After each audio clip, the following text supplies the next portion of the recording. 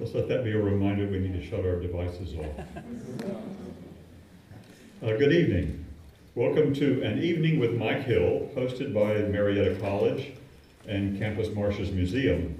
Special thanks to the Marietta College Office of Alumni Engagement, the Marietta College Career Center, and the Legacy Library for sponsoring this event. I'm Douglas Anderson. I'm recently retired as director of the library here at Marietta College. I well remember Mike Hill's first visit to Marietta College in August of 2016. Like any other experienced researcher, he had called ahead to speak to someone in special collections about possible resources for research. And it was evident that he had already done his homework, reviewing the website, uh, the finding aids on our special collections website for our, our different uh, collections. We were aware that he was working with David McCullough on a book idea relating to early Marietta, and that his goal was to determine, determine whether our collections contained enough material to support the book project that they had in mind. He spent a week here on that first visit, and I understand that on, uh, after his first day of working with Linda Showalter, he called Mr. McCullough to update him on what he had found, and let him know that our resources would do what they needed. Needless to say, that research culminated in the publication of The Pioneers, the heroic story of the settlers who brought the American ideal west on May 7, 2019, so three years later. Over those three years, Mike made more than 10 extended visits here to work in special collections, several of them alongside Mr. McCullough. And I think that's enough for us to claim him as one of us. In his 40 years of work as a historical researcher, Mike has worked with a long list of authors that you'll recognize some. His work uh, with McCullough is well known, but he is, has also worked with Jon Meacham, Sebastian Junger, Nathaniel Philbrick, Evan Thomas, Michael Korda, Senator John McCain, James Bradley, Susan Eisenhower, Michael Beschloss, and Caroline Kennedy. He's also involved in several well-known television series, including as co-producer of Space Shuttle Disaster. Mike is also a published author in his own right. His most recent book is Funny Business, The Legendary Life and Political Satire of Art Buchwald, published this year by Random House. Earlier books include War Poet, The Life of Alan Seeger, and his Rendezvous with Death, published in 2017, and Elihu Washburne, The Diary and Letters of America's Minister to France during the Siege and Commune of Paris, published in 2012. A native of Pennsylvania, Mike graduated from Kent State University as a political science major, went on to receive a law degree from the University of Akron, and then a master's in public administration from Harvard's John F. Kennedy School of Government. Uh, after his schooling, uh, Hill served as a press aide for then Vice President Walter Mondale. We're pleased to have Mike with us this evening. He will be interviewed by Professor Matt Young of the Marietta College History Department. We will take some time at the end of the, uh, quest, the, the interview for questions from the audience, so get your questions ready. So let's welcome Matt and Mike to the stage.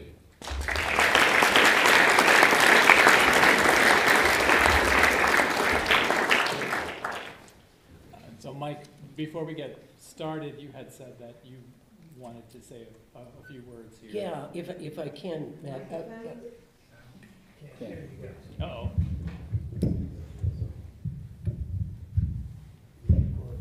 Maybe we have to get a little closer. How's that? Is that better? No?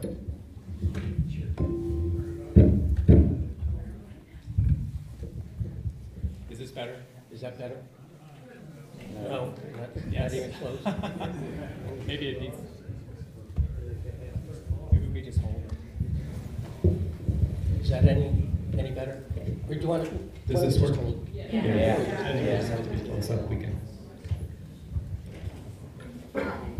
Excuse me, how's that? Is that good? Great, thank you, thank you. Um, Thanks, Matt, and Doug, thank you so much for that very, very kind introduction. And I just wanted, just before we get the conversation rolling, I just wanted to thank all of you for being here tonight, for coming out tonight uh, to participate in this, what really is a tribute uh, to the life and work of David McCullough and, uh, and his wife Rosalie McCullough. Um, and it's great that you're here for this, this tribute. Um, David was, as many of you know, he was an extraordinary man who led an extraordinary life. Um, and his work um, and the aspirations that he had for history and uh, good history in this country uh, influenced and touched uh, so many people, which is part of the reason that with his passing that he was missed by so many people. Um, he was uh, he was so loved by so many, and his work uh, will live on. And um, this event tonight is part of uh, trying to carry on his legacy. And so I'm so grateful uh, myself and behalf of uh, David and Rosalie's family that you've taken the time to be here tonight. So I'm very, very thankful for that. I appreciate it. Great, Mike, thank you. Um, I thought maybe you could kind of get us started talking a little bit about your own background, but more, maybe more specifically, how you got started working with, with David. Sure. Uh, it was, uh, I was working, as Doug mentioned, I was working up on Capitol Hill as a press secretary for a congressman. And I had gotten to a point where I was just, I was really kind of burned out with politics. I wanted to do something else. And so I had always been interested in history. And so I had, uh, in the midst of trying to figure out what I wanted to do, I read two of David's books, uh, Mornings on Horseback and The Great Bridge, about the building of the Brooklyn Bridge. And I thought, you know, um, uh, if I could help somebody like this do research on his books, it would be the greatest thing ever. So I found out that he lived on Martha's Vineyard, and I was in Washington near Library of Congress and the archives and so forth. So I basically wrote him a letter and offered to do research uh, for him. And I sent it off, figured I would never hear anything, and then about a month later, I got a wonderful letter back from uh, saying that he was moving to Washington with his family to work on the Harry Truman biography. And he said, give me a call at the office and, and we'll talk about it. So we met for lunch, and we had a wonderful lunch uh, from the get-go. And so he started giving me some assignments to do, um, very targeted assignments, looking at collections and so forth. And so I would go off and then work on those, and then every couple of weeks, I would go over to his house and we would have kind of a, a college tutorial where he would, I would present to him what I'd done, and he would critique it, and he would ask follow-up questions and so forth. And so we would do that, and then he'd say, pursue this, or look at this collection, or whatever. So um, uh, we do that every couple of weeks, and then over about the next year and a half, uh, we just developed this really wonderful uh, relationship that went on for over 40 years. And uh, it was, it was without a doubt one of the great joys. And it's a, it's a lesson that, that uh, you know, send that letter, make that call if you're, if you, you want to, because you never know what spark's going to come out of it. And that changed my life uh, dramatically in a trajectory I never would have imagined. And uh, to such wonder, wonderment. And then you continued to work with him then? Yes, yes, exactly. Right. So, uh, the Harry Truman book was the first book, and then I helped him, uh, all the way through Pioneers. Mhm, Yeah, mhm. exactly. Uh, One of the things I was, I guess, maybe most surprised by, having, you know, worked a a little bit, kind of did my bit um, as, as you were working on the Pioneers, is discovering um, uh, how David, his method, essentially, uh, in, in research and, and writing. Um, I was a little surprised, um, but uh, perhaps you could, you could talk about uh, his approach. Oh, oh, sure. Uh, Well, the first, and Doug again touched on it a little bit, is that, is that the, the first key was to come up with a topic or a prospective topic, and then find out what, what's out there in terms of archival material and, and other. Linda Showalter is incredible, Bill Reynolds is incredible, Scott Britton is here, Ray Zwick, so many people here who were so part, so much a part of making that book happen. Um, so the archival material we knew right away was there. It's extraordinary. The collection at Special Collections Department at Marietta is, uh, College is, is extraordinary.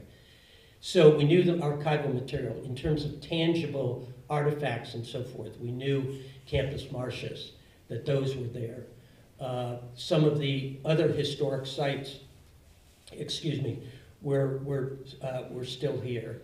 Uh, the newspapers we knew were here, which is another component, as you know, of a good historical book. Um, the paintings, uh, David was always a, a firm believer in, in finding paintings or engravings that were either done contemporaneously or depicted a contemporaneous scene, so that he, again, visually um, could see what a scene or what a person looked like or what they dressed like, uh, just as importantly. So paintings were, were important. Um, and then the other component, which I talked a little bit about with some of the students today, is that David, in addition to being an incredible writer and speaker and so forth, was also an artist. And one thing that he would always do is he wanted to, if he could see the sites, the actual place where an event took place, he wanted to set his eyes on it. And one thing that he used to do when we were in Marietta is we would stay uh, down at the Lafayette Hotel, and he'd go out before sunrise and look at the Ohio River because he wanted to see from an artist's eyes how the light hit that river so that when he described the Ohio River, he could have in his mind's eye how that looked. And they would do the same at sunset and uh, in different forms of weather and so forth. So it, it, it's this gathering of, of the archival material, what's, uh, what's in existence and so forth, and then having incredible, incredible historians and, and uh, archivists uh, help out along the way. And, and uh, he, he said often that he thought the help that he got here and the collections and so forth were probably some of the best that he ever had to work with during his entire career. I'm thinking also, he, he didn't use a, a computer, he didn't use the internet uh, to do the research that he did. He, my understanding is that he used the, to do his writing, he used the manual typewriter that Yes, he exactly. started out using in the late nineteen sixties? Yep, When he yep. began writing. He had a manual typewriter, he used it up until the, the very last book, the very last, last page. And, um, and I thought it was just wonderful. It was, it was great, but, um, we talked a little bit about it today, is that I think it was that, and this is my opinion, that I don't think he, if he, he, he, if he had wanted to, he couldn't have adjusted to a computer for his writing, because I think what happened after time was that the, the, uh, uh, the tangible touch of the typewriter keys became part of his creative process. And so he needed that in order to do what he wanted to do. And so uh, I think uh, it, it was wonderful. And I I can remember times of being up uh, wherever he happened to be and outside the office working on something, whatever, and just hearing the clattering of the typewriter. And it was just the most wonderful, wonderful thing. So, yes, he did that his whole life. When you work out an effective approach, right, uh, then you, you stick with it, right? Yes, Um, exactly, right. exactly. Um, I wondered if you would comment a little bit about the, the, how did he choose a, a book topic? What, what kind of process did he go through and sort of, you know, the, when you look at the eleven books that he wrote, um, cover a, a wide range of different time periods and, uh, you know, different, different types of people. Yes. He, the one thing he said in terms, in, in general, Matt, was that he, uh, he always wanted to choose a subject that he didn't know that much about, because that was part of the joy of the journey of the research and to find out about new characters or, uh, or as in pioneers of the new settlement or Americans in Paris and so forth. He didn't, he didn't want to take on a subject that he knew much about because he, he loved that. It varied from uh, time to time, and sometimes he changed uh, after, after doing research on a project. Uh, the, the examples that come to mind is that um, before he did Harry Truman, he was actually uh, going to do a biography of uh, Pablo Picasso. And he actually spent, I think, about a year, maybe more, doing research and so forth. And one day he, he said he just realized that he couldn't spend another day writing that because he didn't like him. And he didn't want to spend another couple years working on a subject of something he didn't like. And as many of you know, all of you know, that his subjects um, that he has chosen are people that he really admired for a whole variety of reasons. And I think, I think a couple of the things that he would, he would always talk about was that characters that exemplified the best aspects of the American character, determination, overcoming adversity. Um, and so that, that would figure into the process. And of course, the Pioneers is a perfect example of those, of those lessons, of, of adventures, determination, trying to do something for their country, and overcoming adversity in, in, in, uh, in, in part of it. Um, the other one that did change was that with John Adams, he originally was going to do a dual biography of John Adams and Thomas Jefferson. Yeah, I was gonna ask you about Yeah. that actually, because I, I seem to remember him talking about that. And that was, he wasn't, the, the, the original concept was to do a dual biography, but as he started working on Jefferson, I think, Yes. am am I mistaking that, that he didn't uh, necessarily take a, a shine to Thomas Jefferson? Yeah, there were two, right, there were two dynamics in there, as, as I recall. One was the fact that, that, uh, yes, that, that as John and Abigail's stock went up as he was researching, Jefferson's was dropping a bit.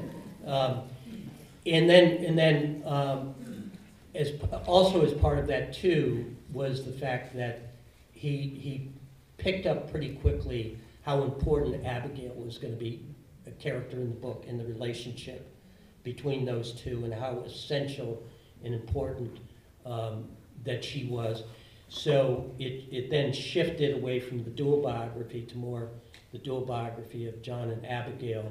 And Jefferson, of course, was a character with some of the others in that.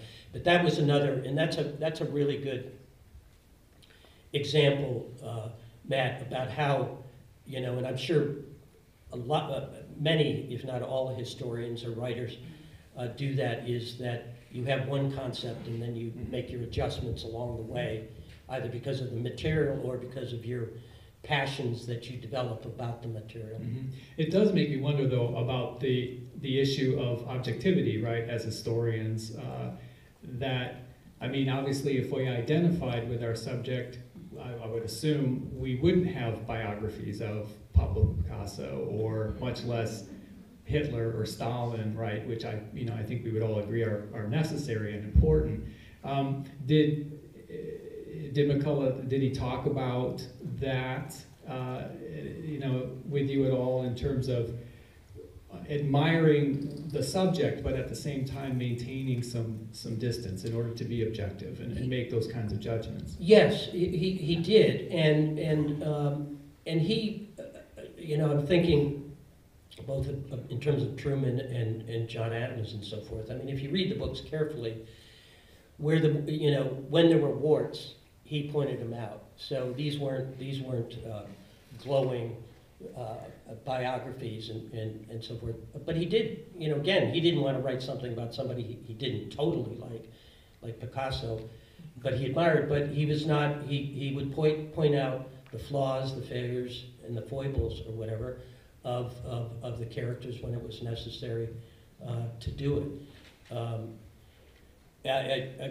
remember with the Truman book, I think the, the loyalty oath issue was, was Mhm. a, was a, was a big issue, and, and he, he dealt with that. Uh, the, it was John Adams, the quasi-war, and that was kind of the driving force, which of course nobody. so. But it does seem to be the arc uh, that is, I think about sort of all, you know, his entire, the, his works, they engage American subjects. It's interesting that, to hear that, you know, this Picasso biography is the thing they kind of started and he kind of dipped his toe in the water and he, didn't pursue. But that these were, you know, this is essentially a, a, a series on various facets of American history. Yes, and, and the other, the other thing too is that, um, I remember him saying one time that, that I think it was his daughter Dory who asked him, uh, or they, not asked, but I think had a discussion about what unifying thread was through his, Right. his, his books. And he, he said that, um, uh, Americans overcoming adversity. And I think if you really look at, uh, whether it's adversity in terms of, of, of, of background, of childhood or whatever, or the course of, of events that they had to deal with and so forth, that I think that those, you know, if you look at the Brooklyn Bridge, the, the building of the Panama Canal, the Johnstown flood, uh, the pioneers, I mean, they're all, all there. So I think that that, yes, that's, that's a real unifying effect Mhm. or uh, theme. Can we talk about the pioneers a little bit then, sort of in his No. last? We won't go there. I'm not here to talk about that. Of course. Uh, of course. the, you know, the, the fact that this was his, his, his final project, um, uh, you know, where does it fit, I guess, in sort of the, and, and you've said wonderful things about, um, working here and, and having the opportunity to kind of work in the, in, in our special collections and, and deal with this topic. Um, this is a little bit of a, I guess, um, this is not a topic which is commonly uh, treated in a lot of popular history. Uh, and I wondered if, you know, he, did that figure into his uh, approach at all, and he's thinking about this topic and, and pursuing it? Meaning, um, you know, obviously he's a, a, a, uh, a, a popular author, a best-selling author, a Pulitzer Prize winner, um, but there are certain topics, obviously, I think that you would think of, an audience is going to really latch on to. I mean, did he, did he see that in, in the Pioneers? Was that some concern here that, that he wouldn't have the audience for this book? Uh, No, um, I'd- I'd like to answer that in two ways, is that um, it dawned on me when, when uh, we were making arrangements for me to come out here, that um, the, you all, the town of Marietta, Marietta College, the students and all the people who live here, have a singular distinction that no other place in the universe no other college anywhere can claim, which is, this is the place, this is the college, this is the special collection, where David McCullough, the great American treasure historian, two-time Pulitzer Prize winning author, did his last book, researched and did his last book. Nobody else can claim that but you. And I think that's a wonderful uh, thing to be said, and I think that's part of why he held this town and the people here and so forth in, in such high esteem. To, to go to your question, Matt, I think, uh, no, I, it- that never came up in anything. As a matter of fact, I think the fact that it really hadn't been done before was, was part of the appeal for him to do it, because it was, even though, you know, there had been some work done, done on it, various aspects of it, I think the fact that it hadn't been done was, a- was, was, was of great appeal to him. And I think that that was what, uh, was the deciding factor. I don't think the other was, was a much concern. Yeah. I am curious, though, that this was his final project. What, I didn't get the impression that that was sort of his last book when he came, Right. you know, and talked about it. Sort Of course. you know, what was he, what was he envisioning sort of after, after the Pioneers? What was he, what was he thinking about? What was he working on? You know, that's a good question, I- I- and I have no idea, and I don't think, he never really discussed it. I don't remember him think he joking did. about um, not wanting to get into tennis. I, I remember that and, and kind of thinking about, you know, the, the idea of retirement wasn't, uh, Right, right. Oh, wasn't oh, oh. interesting to him at all. Oh, never, ab- absolutely. I, I mean, the one thing that, that uh, anybody who knows or worked with David and, and, and, and Rosalie was the fact that, that they were always on the go. There was always something going on, something hopping. Either David was, was working on a book, he was thinking about a new book, he was, he was giving speeches around the country about, about the importance of history and historical uh, uh, literacy. He was, he was promoting a cause like the Disney fight in Virginia when they wanted to build, build a theme park. He was working on a documentary. He was helping out with a feature film or whatever. There was always, always something going. There was never a break in the action. And, um, and that was part of the, the, the, really the joy of being along for the ride was that it was just constant and it was always different. It was always new. Um, somebody, uh, uh, did you ask t- uh, today what, oh, no, uh, uh, Linda did, if, if I, of all David's books, if I had a particular favorite. And I, of course, I, every one that I worked on, I, I love. But the one that, if I was pressed, was his book, The Greater Journey, about Americans going to Paris in the 19th century. And by Americans, I mean, you know, the medical students, the, the, the artists, the writers, uh, the politicians. Uh, and um, it, it was my favorite for me personally because there were so many of these, these characters that I didn't know anything about. And so it was a real journey of discovery for me. Uh, like I said today, I knew John Sing- Singer Sargent, but I didn't know the genius that John Singer Sargent or Augustus St. Gaudens. I probably didn't even know his name at that point. So it was a real journey.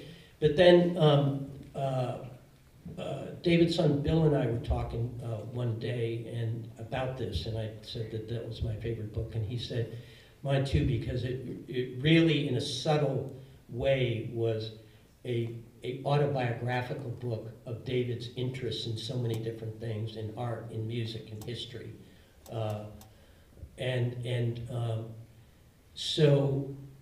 But that's a, I, I, I, I have no idea, Matt, because it, it, it, there was never a discussion of it. Mhm, mhm. Uh, What about David's favorite? What was his, you know, did he, did he have a particularly favorite? Uh, Or one that he thought was the most important or, or had a, you know, the most significant impact? I don't think he ever, I can't recall, if he did say it, I, I don't recall it. Um, I don't recall it. I, I, I do know when the American Spirit book came out Mm. late, which was a compilation of speeches and Mhm. articles that he gave and so forth.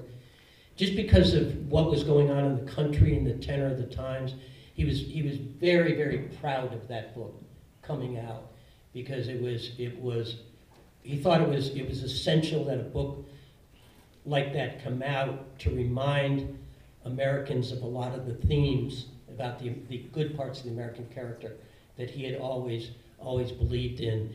But I think it was also a wonderful way as a testament to what his beliefs and so forth to get out there. So I know he was particularly proud of that. Mhm. Um, but the other part of it, I don't remember him ever saying that he did. Did he, did he talk to you uh, much about sort of his take on the, the, the divisiveness in, in American society, so this, you know, growing divide that we see? He, he was, he was, uh, uh, he was troubled by it, he was dismayed by it, yeah, absolutely. And I think that's, that ties back into why I think the American Spirit book, that he, that he was particularly proud of that coming out at that time, Mhm. because it was able for him to, to offer his, his, you know, let's take a step back. You know, we've been through, this country has been through difficult times before, through adversities and so forth, and we've always survived. And that, that this, that, that book was able to say, take a step back, take stock of our great qualities and so forth, and we'll get through this, Mhm. despite the fact that it is troubling times. Can you elaborate further on how you would characterize the impact that David McCullough had on sort of a, a American collective memory or, or social memory, sort of the, you know, the way that we, we think about our, our history. Yeah, I think, uh, I I think he, again, his, his books and what they tried to portray and convey of these various parts of the American character, um, I think was, was at, at the heart of it. Um, but beyond that, and I touched on this a little bit before, was that uh, he was very, very concerned about uh, that we need to we need to be more aware of our history, our, our country's history, and I think that that's that's why he wrote about these various su- subjects and so forth. But I think he he felt, excuse me, that we needed to uh, teach history better in uh, in high schools and junior high and so forth. And also we needed to, he always would talk about that not every college or university requires a history requirement anymore. He felt it was very important that we do that. And I'm very impressed, and he was always very impressed, by the way, with, with the faculty at, at, uh, at uh, Marietta College here. But I think he, uh, he used to talk about, uh, you know, describe it as spreading the gospel of history. And, and, um, and so he would say that, uh, he would talk about that in a lot of his speeches about the need for promoting history and the need for parents to be engaged in that whole process too, of taking, you know, taking their young children out to historic sites, uh, like the Campus Martius or so, so forth, or Gettysburg, or whatever, to see real history and to try and get them engaged uh, that way. So um, he, he was, aside from just his, his work, he was very concerned about the larger issue of, uh, of uh, understanding and, and uh, studying history. Mhm. And so thinking about then, this is really sort of, we, we access the past through text, right? Through, through reading a- an engaging narrative. Uh, the, the, the, the, you know, obviously David was very talented at, at creating. I'm just kind of curious, going back to the John Adams biography, which then was turned into a series, an HBO series. What was his thought about that and, and the way that um, I have an interest in sort of history and film, uh, and so the way then that historical narratives then get uh, translated into visual media. Um, what was his thought about the way that the, the book was adapted for, for, for screen? Great, great question. He absolutely, absolutely was so enthusiastic about it, embraced it for a whole variety of reasons. Uh, he, uh, one is the fact that that that um, uh, by taking his book and going to the screen, it was going to bring that subject to a wider audience, which again is part of this about about history. But the other thing was that he, from very early on, uh, he, he was, he had a meeting with Tom Hanks uh, when there was discussions about, about him uh, uh, buying the rights to the book. And they had a meeting, uh, David and Mr. Hanks had a meeting. And I remember David saying to me that Mr. Hanks came into the meeting and he had a copy of, of John Adams and it had all these tabs out there. And when David saw that, he knew that he had read it and studied it. And he said during the course of that conversation, he was convinced that Tom Hanks was gonna, was the guy to do it, and he was gonna do his best to make sure that his book and the spirit of his book was conveyed. And I, I know that when they were, when they were uh, producing the film, I spent some time on the set, and the detail that they, to make that an authentic uh, series was incredible. I mean, they, they, I remember at one point that um, there's a, there's a part in there about the Boston Massacre, and they show the scene where the British soldiers uh, uh, uh, came in.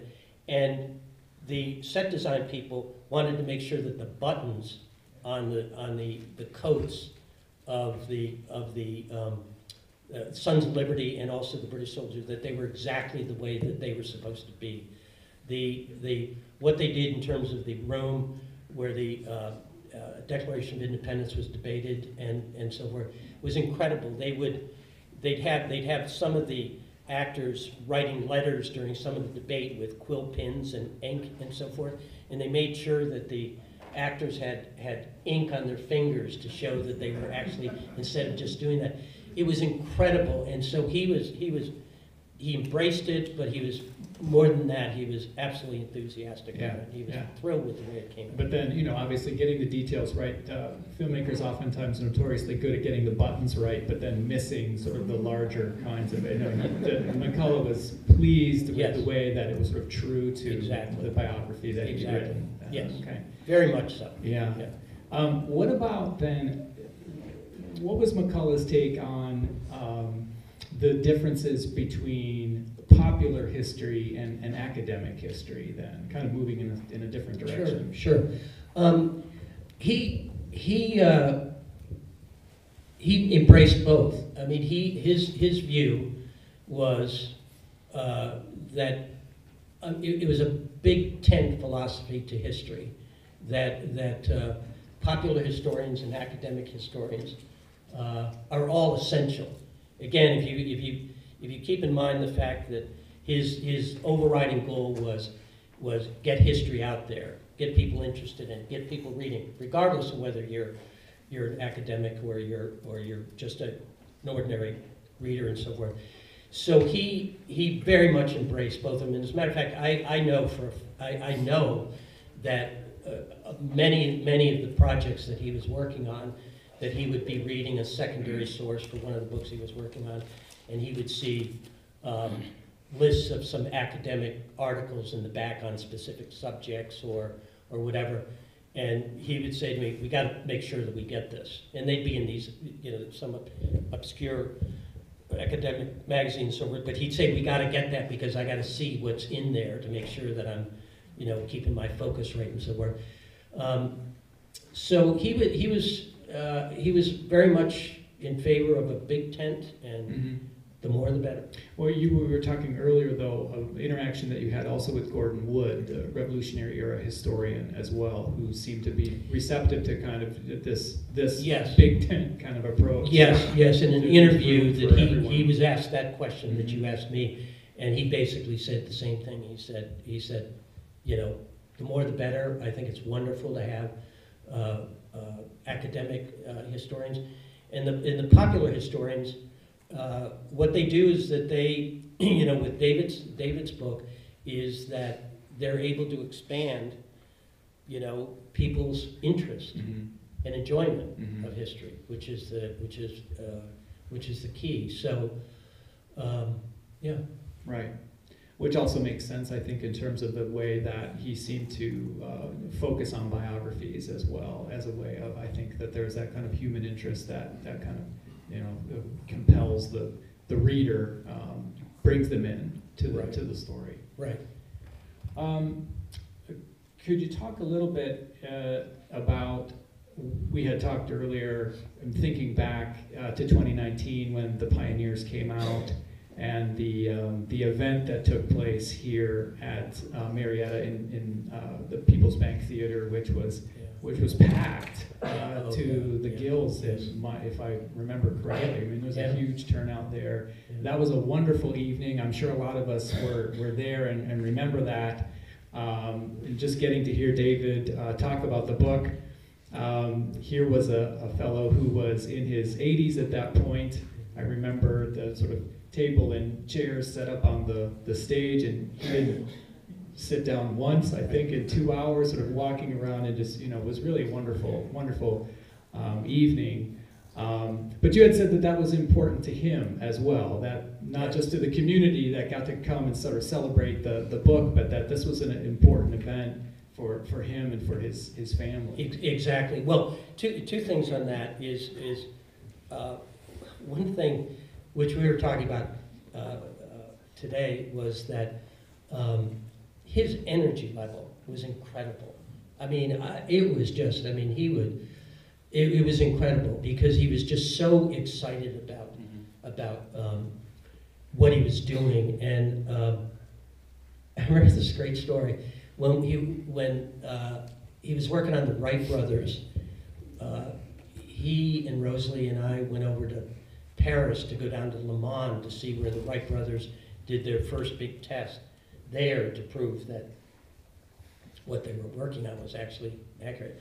So we were, we were, had gotten into Paris and we were going down to Le Mans the next morning. So that night, um, I, uh, you know, I said, what time do you want to meet downstairs? He said, oh, why don't we, why don't we meet, uh, the train, I think it was like nine thirty or something like that. And he said, well, why don't we meet downstairs about, about seven thirty and we'll have a little coffee and then we'll get together. And I said, oh, that's great. So of course, six AM arrives, my phone rings in my hotel room, and it's David, he goes, I know it's a little bit early, but I'm so excited to go down to Le Mans. I'm, Rosalie and I are downstairs here, why don't you come down and join us for some coffee? And of course, I said, I'll be down as soon as I can. But anyway, but that's just a perfect example, and the, the other example was that him getting up in the morning and going out and looking at the Ohio River here today. I mean, it was such a beautiful thing that he, he would do that. Um, but the, the, the final, uh, that final time when he and his family, and it was not only he and Rosalie, uh, but his children and uh, many of the grandchildren, and I think one grandchild were here. And we had wrapped up the, um, the, the events here, and um, he had put together a big party for the family and so forth down at the Lafayette. And it was one of the most glorious times because it was, as any occasion with the McCullough family always was, was that it would start out with toasts and then song and then stories. And it was just all just incredibly uh, joyous. And that was the last time that we were all, we were all here. And it was just, it's, it's a memory etched in my mind. And it was, and again, it was here, this place. Mm, mm, mm. Well, we, we'll take some, have an opportunity for anyone in the audience to ask um, questions of, of Mike. Um, But maybe before we turn that over, what, what else would you like us to know about David and, and, and working with, with him? Kind of a person was Oh. he? Just, just, I, I, I it, it, it- extraordinary. I, I just, it, he, not only was he extraordinary, Rosalie was extraordinary, his family is extraordinary, and he lived an extraordinary life. Um, he did, he, he did on a daily basis what he loved, uh, which was writing and, and researching history and talking about history and painting. And uh, he got so much uh, he got so much joy out of life. I never once saw him down. He was always first thing in the morning he was always he was ready to go. And he was never down. Uh, it was the next you know what's the next journey? What's the next um, and he was he was a wonderful storyteller. Uh, uh, I, I think back now, some of the times that we were here, that at the end of the day, we'd go have dinner and we'd sit around, and he would just, how lucky I was to be just sitting there, and Linda would, was, was, and Ann, we're all part of this, that sometimes he would just stop and just uh, tell stories, and they were wonderful, and he, as I said, he loved to sing and to tell jokes, and his laugh was wonderful, was, was great. And he and Rosalie were such a magical, magical cou- couple. And so they were so lucky to have each other and have their family. And uh, we're all lucky to have had them in our lives. I bet you think a lot about how fortunate it was that you took the time, you took the risk to write that Oh. letter. You still have it, I, I, I, uh, or at least his I do. response, right? I, I do, I Yeah. do, and and um, I know it's one of those things where I just if I hadn't done that, how I I, I can't even imagine what my life would have been Mhm. uh, uh, would have been life. But I couldn't have now in retrospect I couldn't have imagined a more magical, wonderful life uh, to have had once I got hooked up with him. Mhm, mhm. Well, this has been great, Mike, and I'm sure I've, I've asked some questions. I'm sure I've missed things here. Um, I want to take an opportunity to give anyone in the audience a chance to, to ask some questions. I think we have a, a mic that we can uh, circulate around and take a few minutes to, to do that. I see two hands in both back corners. Doug or, I can ask my question out loud. Oh, okay. That is, When you do the book, you gather all these wonderful facts and documents and historical characters, but for me, it's the stories that brings these books to life.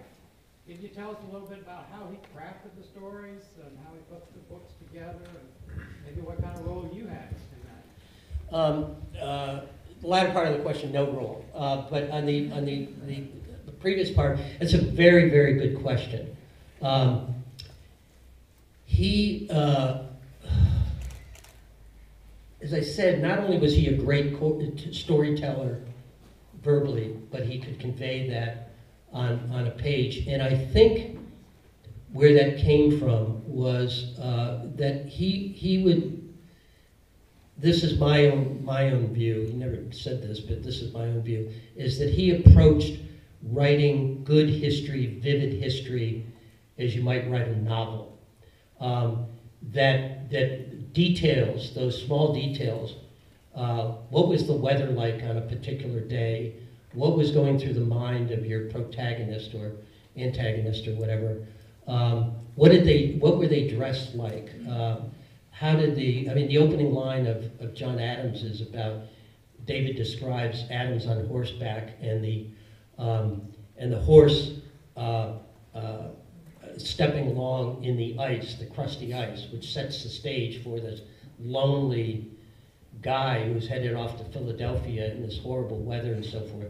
So I guess if, if I were to say what, what was that he would, he would look at it as as a novelist was uh, writing writing history to make it vivid and alive and come alive.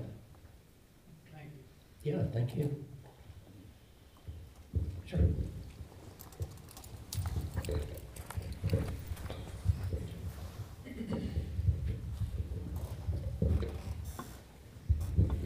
Hi, um, so I'm actually a historian education major myself, and one of my firm beliefs is how that we definitely do need to fix the how history is taught in the education system. And you said how David was also a firm believer in that, and I just wanted to know like what were his views on it, like how he believed it should be changed and taught, because I believe it's too sugar coated and we don't focus on many of the important things. It's mostly just America's involvement instead of maybe other people's involvement.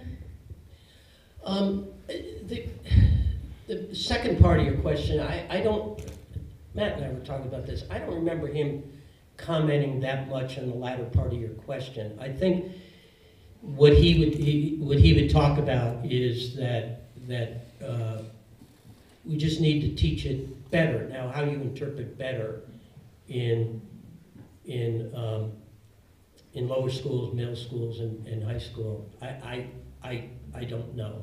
Um, but he, he also felt that um, by not requiring some kind of history course in colleges and universities was really doing a disservice uh, to, to students because of the importance of it. We were talking a little bit today with some of the history students and so forth about, about the one of the wonderful things about history is, is that uh, having a history background, uh, uh, that you can teach, you can write, you can write good history, but there's a whole variety of other things you can do with a history degree. You can get into politics.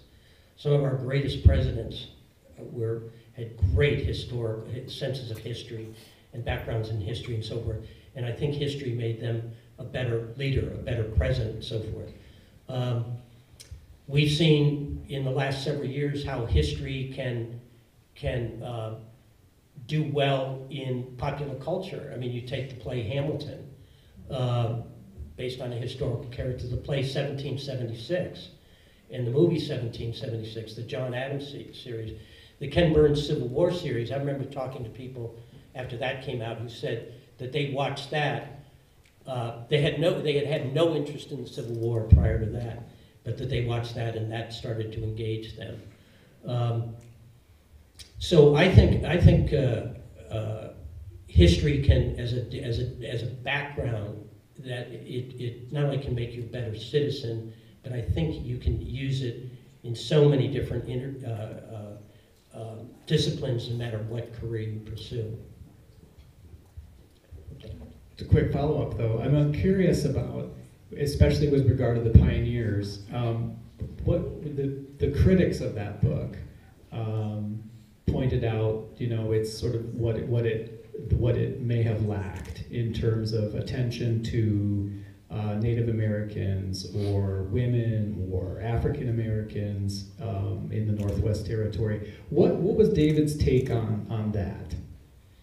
Well, uh, uh, that's, that's a good question. I, a couple things uh, that I, that I do know is that um, uh, when some of that came out, he was, he was a little bit, he, was a little bit bewildered because what some of the people were saying were quotes out of contemporary, con- contemporaneous documents or letters or diaries or whatever. It wasn't something he was writing. Mm-hmm. It was something that was coming out of a contemporaneous dar- a document, which for any historian, primary sources are fair, fair game. The other thing, though, which then, it, but he didn't get, I, I have to tell you, he, he, he, he wasn't, he didn't get too bothered by it. He just didn't, didn't get bothered. But one thing we did find out was the fact that several of the people who criticized him hadn't even read the book. And there's a, there's a great story that, that I heard that he was, uh, he was doing a, a, uh, a book talk up in, I won't mention the city, but he was doing the book talk up in a northern city, and um, somebody got up in the audience during Q and A and held up a copy of the book and started started going after him about about this particular issue. And finally, David said, "Excuse me, can I ask you a question?" And he said, "Have you read the book?" And she said, "No." And he said, "Thank you very much. Good night," and walked off the stage and got a standing ovation.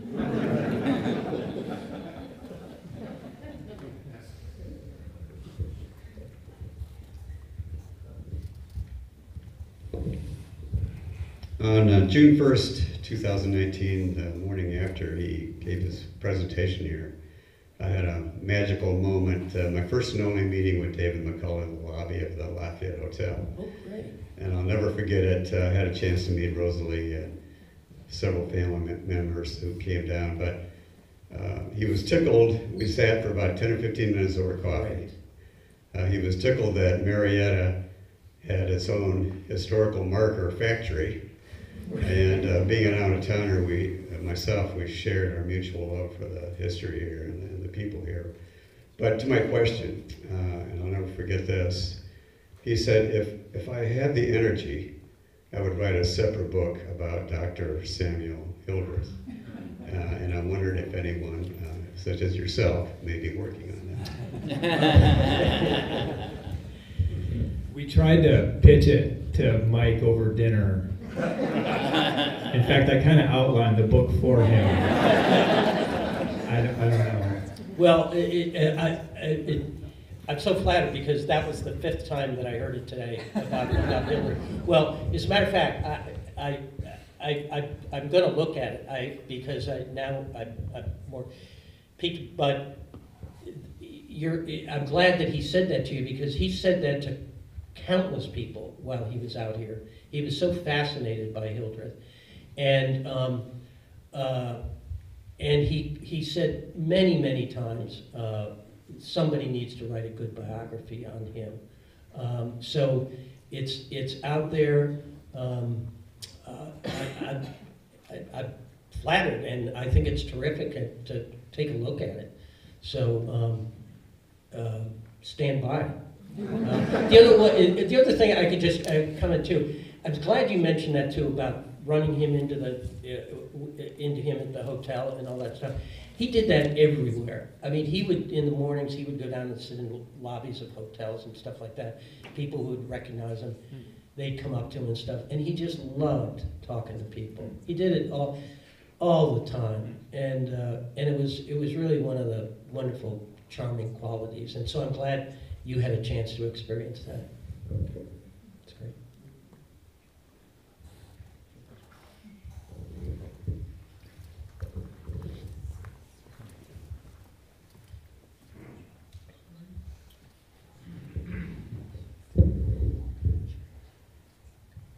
Are uh, Mr. McCullough's family members going to follow in his footsteps, or do they have aspirations of such? Um, actually, of his uh, five children, his daughter has written two books, uh, two wonderful books. One is called Posterity, and it's a collection of letters of famous Americans to their children. It's a beautiful book. Every every June, uh, every middle school and high school in the country should should have that uh, required reading for students. It's it's got beautiful, beautiful advice. And then she also wrote a wonderful, wonderful novel. And then his other son, uh, David McCullough Jr., has also written several, several books. They're both wonderful, wonderful writers. Um, so whatever they do, I hope that they continue doing writing. But yes, the talent has gone down there. Yeah, I uh, wanted to say it was a great privilege, um, both giving you and, and the family and David uh, the tours over at Mound Cemetery. And, and to my great regret, I didn't give the tour initially about Hildreth. Uh, that was something that he discovered, and, and when he came back about the middle of the, the uh, process, he wanted to see and take that tour again and see specifically where Hildreth was. But I distinctly remember that last visit when he was going to be uh, doing the speech that evening and the long schedule he had that entire day, followed by that two hour uh, standing um, on the stage. Uh, when we got to Hildreth, he took over and stood there by his grave uh, to all of our great delight uh, to talk not only about uh, about his life and his career, but he just lit up. And, and I, again, I want to encourage you to do that as well. Uh, because it, it really was a magical moment of him relating the story to the family, uh, to his wife and, and children and grand, grandchild, I believe was there as well. Yeah. Um, but it was, it was just a, a magical thing that, that I'll always remember about that uh, particular visit. That was, that was a really wonderful moment, Scott. It didn't, was that when we went down to the church too? Yeah, we went to into the, church. the congregational church Yeah. afterwards as well and, and took a, a tour of that. And, and I will say, um, just the questions that he asked, you could already see him formulating, as you talked about, what it looked like, what it smelled like, what it sounded like. Yeah, Uh, so you could already see how that process was, was going to be put onto paper. That's great.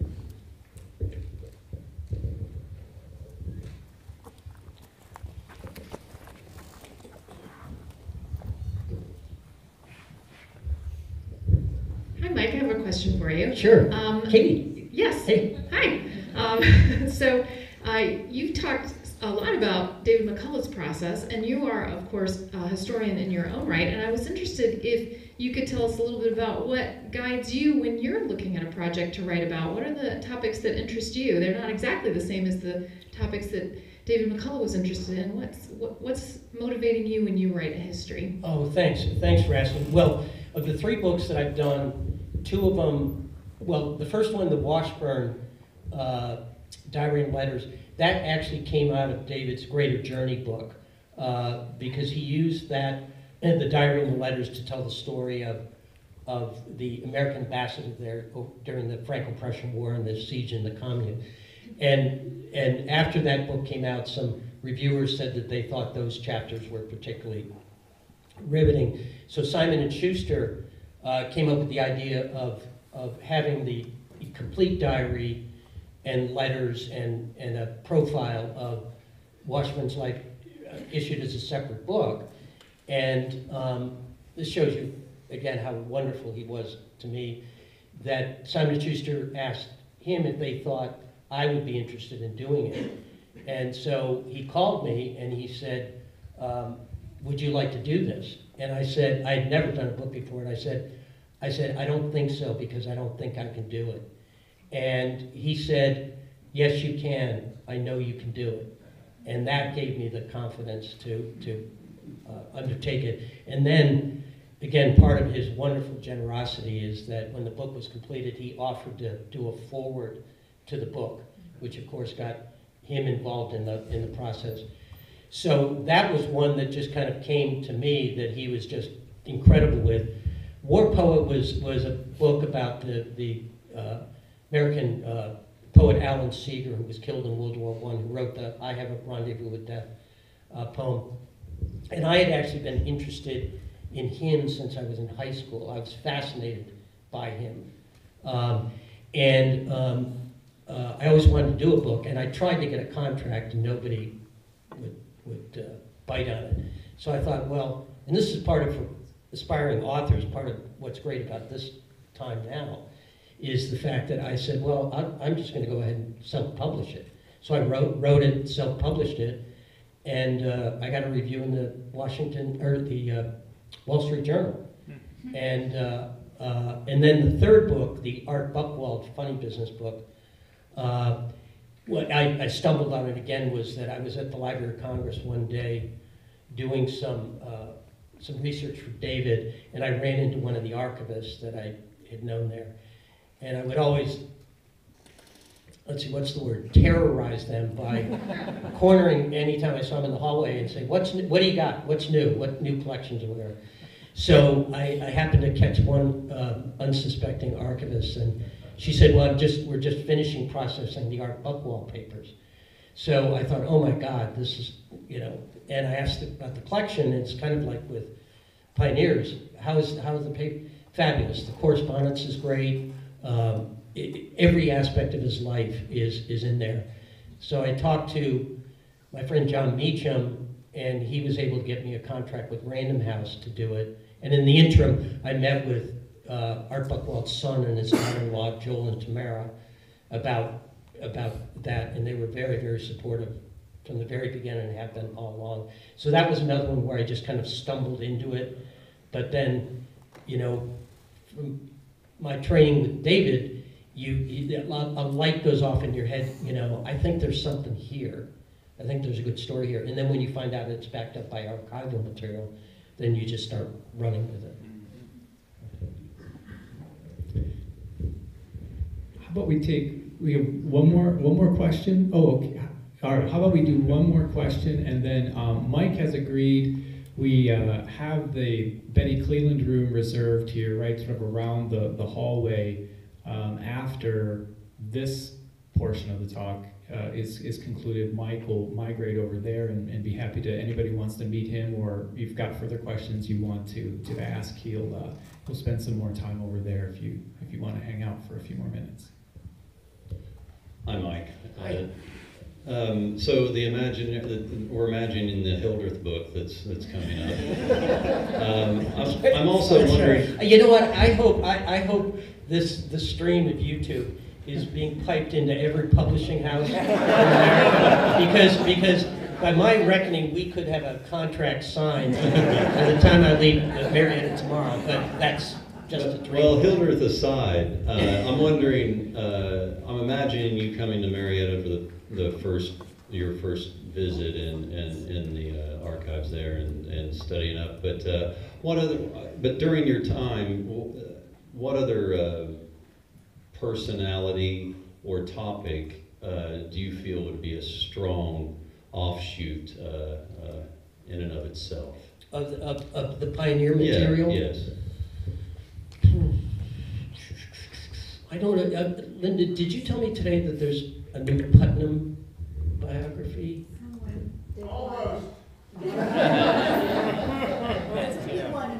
Okay, okay, good, good, good. That's good news. That's good news. Um, let's see. Uh,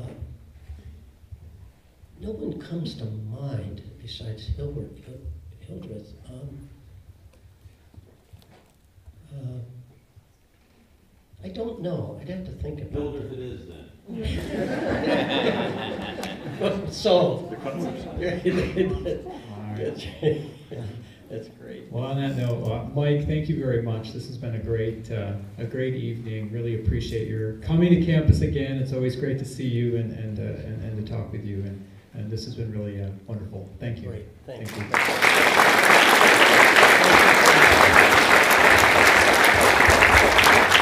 So like I said, anybody who wants to, to stay, uh, have a chance to talk to, to Mike uh, one-on-one, we